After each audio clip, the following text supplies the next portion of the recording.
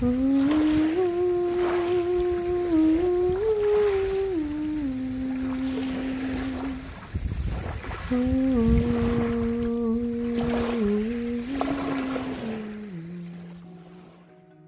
name is Tia Keobounpheng, and this exhibition is called Revealing Threads.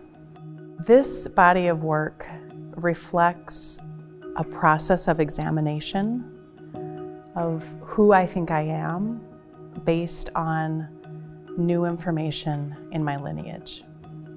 I grew up believing I was 100% Finnish. Why did I not know that I have Sami lineage?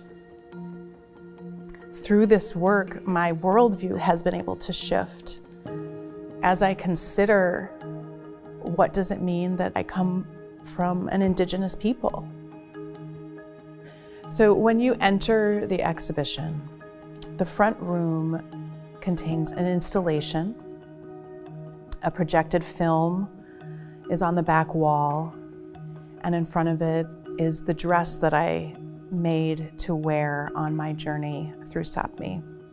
There's also a sound component to the film, and it is my voice humming a melody that came to me on my trip, and the sound of the sea lapping onto the shore in the village where my great great grandmother Wilhelmina was born. So as you walk into the larger room in the Threads series, the geometry of the base layer is the same across many of the pieces. It starts with the exact same size concentric circle that then intersect with each other and create this opportunity for fluid pattern within the threading channels. There's a lot of symbolism in terms of me negotiating these bigger forces historically. And part of that negotiation is simply to allow many things to happen at the same time.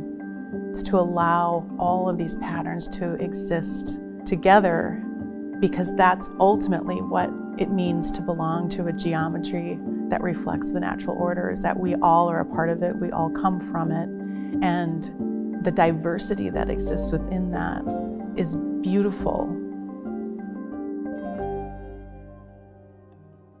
So this body of work is really revealing for me to be showing all of you who I am.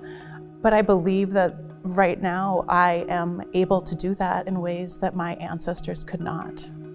I have been able to find information that makes sense of feelings that were buried deep in me that I thought I had to continue to bury. And I don't have to.